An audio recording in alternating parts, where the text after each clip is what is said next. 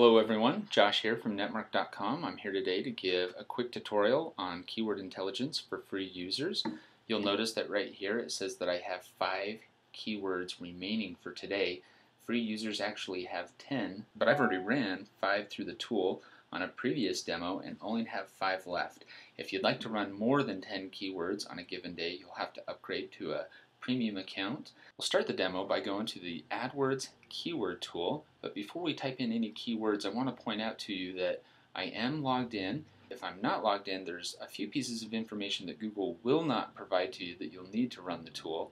You'll also want to make sure that you have all three match types selected. And then lastly, you want to make sure that keyword ideas is selected by default. So we're going to go ahead and type in some keywords. We'll use Netmark as a test subject. I'm just going to type in some crazy kind of random keywords so that you could get a good feel for the tools. Okay, I've got three keywords entered in here. I'm going to go ahead and hit search. You'll notice right off the bat that Google returned nine results rather than the three that we started with. And the reason that they did that is they got all three terms and then they got all three match types. Broad, exact, and phrase for each term. Okay, I'm going to go ahead and hit Save All. That'll save all nine keywords. And then if you want to add any additional terms, you're free to do so. Just make sure that you select all three match types if you do so. I'm going to select this, this, and this.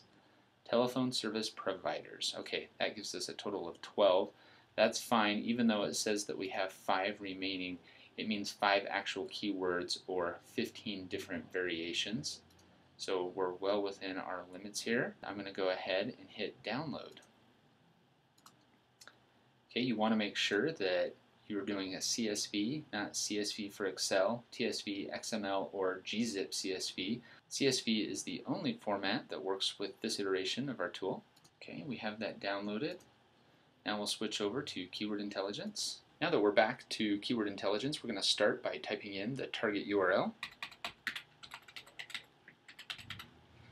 You can include the HTTP if you'd like, or you don't have to. You can include www, or you don't have to either. Whichever way you feel most comfortable is fine.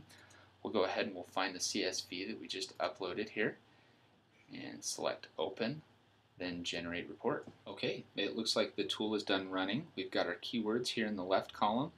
GGMSV, that stands for Google Global Monthly Search Volume in column 2. The next column we have GLMSV, that's Google Local Monthly Search Volume. Then the cost per click, the competition level, the keyword value, SEO clout scores, social media clout scores, rankability, and seasonality. Lastly, we have information about the URL that was entered into the keyword tool. We have rankability, SEO clout, and social media clout for the URL. And in this example, it was netmark.com. We had a rankability of 56.67, an SEO clout of 58.27, and a social media clout of 39.43. Now, if you want to know what each of these columns means, you can hover over each section and it will give you a brief description of what that section is specifically measuring.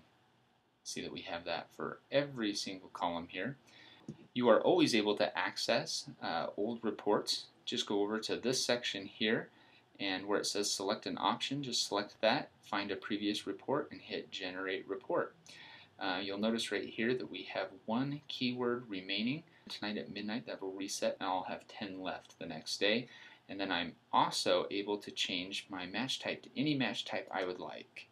We can use phrase or we can go to broad and you can export a CSV and have a permanent record on your computer. Now I will be explaining each of these columns in detail in a future video.